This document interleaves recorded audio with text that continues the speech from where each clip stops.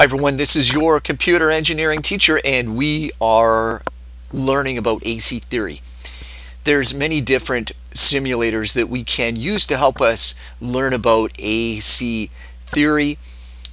One that we're going to use is Tinkercad.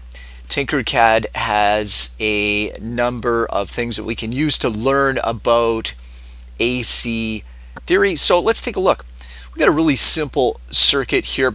What I've done is I've pulled up this here and this is called a function generator and it's an AC source.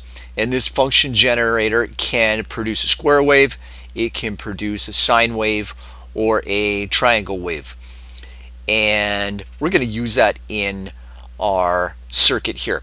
We've got a really simple circuit. We just have a 1k ohm load resistor here and we are putting our AC sine wave across this load and basically we just want to see what that looks like with our oscilloscope. So let's take a look at how this works and how we can change things in our function generator. So let's start our simulator. So you can see here that we can set the frequency.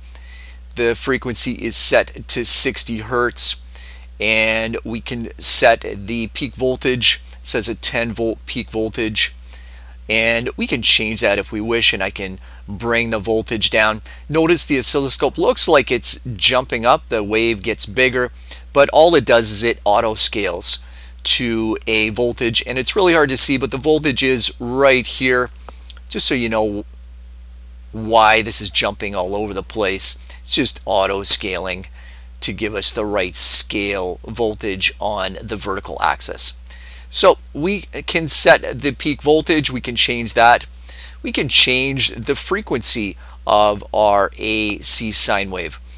And if we move this, you can see that it takes a little bit of time for our simulator to react to the new change in frequency. But as I slowly move it here, my frequency is getting slower and slower as I turn the, the dial counterclockwise. If I go counterclockwise, you can see that the frequency goes up and the period, the time gets shorter. So that's how we can change that. The bottom dial here is the DC offset. Some signals that we may be working with have an AC component and a DC component as well. So what does that look like? Well, if I move this dial here and you watch our sine wave, I'm just going to bring this down a little bit. So as I move this here, you can see that the whole sine wave is moving upwards. And that is what it looks like when there is a positive DC bias. So we're shifting this up. We're continuing to shift it up. It did auto scale there. That's what it was doing. But notice our sine wave is almost all above the horizontal axis and that's because it does have a DC bias.